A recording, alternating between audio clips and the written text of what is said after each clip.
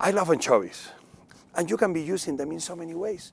A Little bit of bread, cut in half. Once the bread is toasted, you get the, the half tomato and you kind of wrap the tomato on top of the bread. You put anchovies, some black pepper. Bingo, you have a great snack, tapa, hors d'oeuvre, whatever you want to call it.